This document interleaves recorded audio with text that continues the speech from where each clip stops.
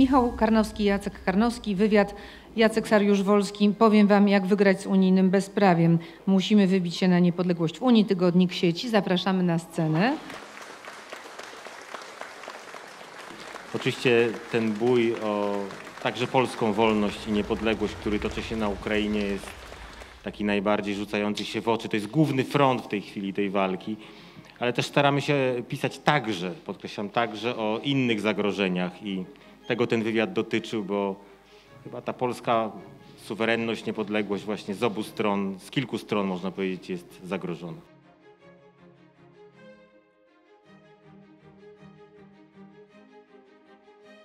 Nagroda imienia Macieja Łukasiewicza. Pierwsza nagroda. Goran Andranić.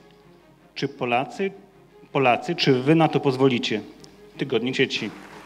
Jestem naprawdę, to jest wielki zaszczyt dla mnie, specjalnie kiedy jestem dzisiaj tutaj, kiedy zobaczyłem, jakie towarzystwo tutaj jest, e, taki doświadczony, e, e, znakomity dziennikarzy i tutaj dostać nagrodę w takiej konkurencji jest wielkim zaszczytem dla mnie. Pomysł za tekst dał Michał Karnowski i zapytam, czy mogę zrobić taki tekst, dać taką perspektywę chorwacką na to wszystko, co się dzieje około postaci Jana Pawła II w Polsce, polskiej opinii publicznej i jak to wygląda dla, dla, dla Chorwatów. Znaczy, Chorwaci mają taką specyficzną perspektywę, jeśli chodzi o Jana Pawła II. Ja dużo o tym pisałem. E, jesteśmy bardzo wdzięczni. Dużo robił za nas, dużo zrobił dla nas w sensie duchowym, nawet w sensie politycznym, jeśli chodzi o uznanie naszej niepodległości. Proszę Państwa, a my przechodzimy teraz do kategorii Nagroda imienia Stefana Żeromskiego, czyli Nagroda za publikację o tematyce społecznej. Mariusz Pilis, Mierzeja Wiślana. Po co nam ten przekop? Prosimy. Po co nam ten przekop? Tu mogę postawić kropkę. Właściwie odpowiedź na to pytanie przestała mieć sens na pół roku przed otwarciem tego kanału, w lutym 2022 roku, kiedy Rosja zaatakowała Ukrainę. Po co nam ten przekop? Zapraszam do obejrzenia filmu.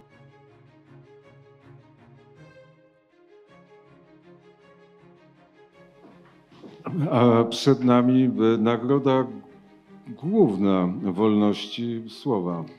Za publikacje w obronie demokracji i praworządności, demaskujące nadużycia władzy, korupcję, naruszanie praw obywatelskich, praw człowieka. Pięć równorzędnych wyróżnień. Recydywista Sławomir Keller za film Warchoły TVP1. Zapraszamy.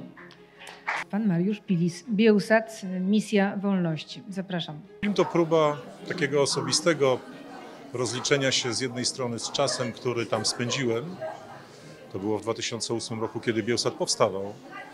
E, I tym wszystkim, co zastałem właściwie po tych 15 latach, kiedy miałem okazję wejść do newsroomu Bielsatu, tak naprawdę po raz drugi poważnie. E, I nagle zrozumiałem, że właściwie każdy człowiek, każdy dziennikarz, na którego patrzę w tej redakcji, to człowiek ze swoją dość tragiczną, a czasami bardzo tragiczną historią. Nie ma tam właściwie ludzi, którzy nie zdarzyliby się z systemem Łukaszenki. To jest redakcja, powiedziałbym, ludzi poturbowanych, ale ciągle zdecydowanych i bardzo mocno zmotywowanych do tego, aby walczyć o prawdę, walczyć o taką Białoruś, którą sobie wyśnili i którą myślę widzieliby na wzór nawet tego, co, co mają w Polsce.